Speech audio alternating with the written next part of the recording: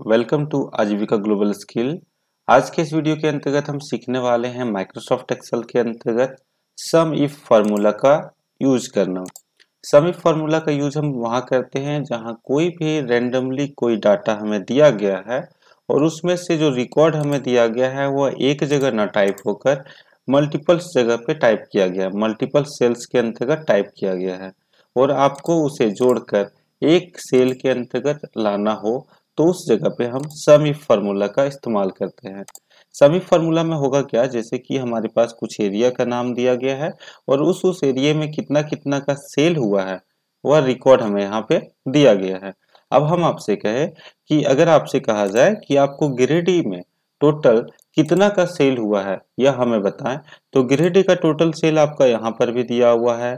साथ ही साथ गिरिडीह का सेल हमें यहाँ पर भी मिला है गिरिडीह का सेल यहाँ पर भी है और यहाँ पर भी है।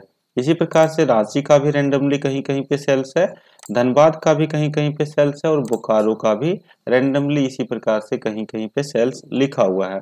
अब आपसे कहा जाए कि हमें टोटल गिरिडीह का जो टोटल सेल है, वो हमें यहाँ चाहिए, रांची का टोटल सेल हमें यहाँ चाहिए, धनबाद का टोटल सेल यहाँ पे चाहिए और बोकारो का जो टोटल सेल है, वह हमें यहाँ पे चाहिए। तो उस कंडीशन में हम जैसे नॉर्मली अगर सम करते हैं तो क्या करते हैं कि एक एक कर इक्वल टू देकर जो जो सेल्स में टाइप किया हुआ गया है डाटा उसे सेलेक्ट कर, करके ऐड कर लेते हैं। जैसे कि यहाँ पे हम जाकर जो ग्रेडी का जो सेल है, उसे एक एक करके सभी को सिलेक्ट करके एंटर करके हम सम कर लिए तो हमारा क्या हुआ? आ गया। लेकिन इस प्रकार से अगर सभी का टोटल निकालेंगे तो काफ़ी ज़्यादा टाइम लगेगा। और हम इस रिकॉर्ड में काफ़ी कम रिकॉर्ड दिया गया है तो इसे जोड़ना थोड़ा आसान है। बट अगर ज़्यादा रिकॉर्ड हो तो वहाँ पे जोड़ना थोड़ा टफ हो जाता है। तो उस कंडीशन में हम वहाँ सम इफ़ फार्मूला का इस्तेमाल करेंगे। सम इफ़ का यूज़ करने के लिए आपको यूज़ करना है equal to sum if open bracket फिर आपको पूछा जाएगा रेंज कि कहाँ से लेकर कहाँ तक के डाटा को जोड़ना है। जहाँ से लेकर जहाँ तक के डाटा को आप जोड़ना चाहते हो, वहाँ से लेकर वहाँ तक के डाटा को सिलेक्ट करेंगे। फिर कॉमा देना है। फिर पूछा जाएगा क्राइटेरिया कि किससे जोड़ना है। हमें यहाँ पे जो जोड़ना है, वह सिर्फ़ और सिर्फ़ ग्रेडी के रिकॉर्ड को जोड़ना है। तो हम यहाँ से जाकर ग्रेडी को सिलेक्ट कर लेंगे, फिर कॉमा देना है, फिर पूछा जाएगा सम रेंज यानी कहाँ से कहाँ तक जोड़ना है। ये जो सेल्स का जो वैल्यू दिया गया है, इसे हम सिलेक्ट कर लेंगे पूरे के पूरे रिकॉर्ड को।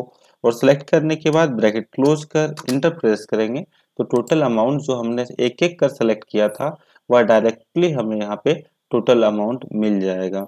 सम इफ़ के ज़रिए। सेम उसी प्रकार से अगर यदि आप रांची का भी वैल्यू कैलकुलेट करना चाहते हो, जोड़ना चाहते हो तो फिर उसी प्रकार यूज़ करेंगे सम इफ़ ओपन ब्रेकेट जहाँ से जहाँ तक के रिकॉर्ड को जोड़ना है सिलेक्ट कोमा क्राइटेरिया किसे जोड़ना है रांची फिर कोमा फिर समरेन सेल्स का जो वैल्यू है, उसे सिलेक्ट कर ब्रैकेट क्लोज कर इंटर किए।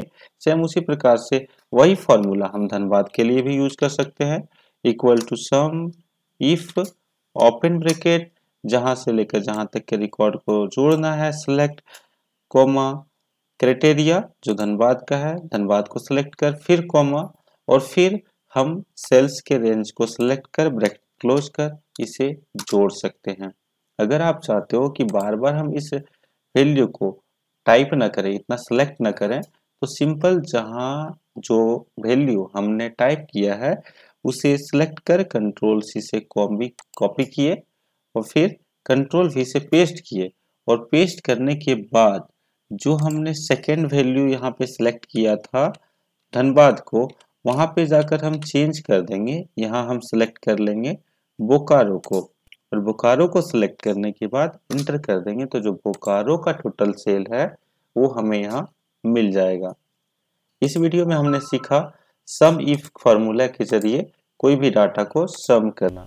थैंक्स फॉर वॉचिंग मिलते हैं नेक्स्ट वीडियो में।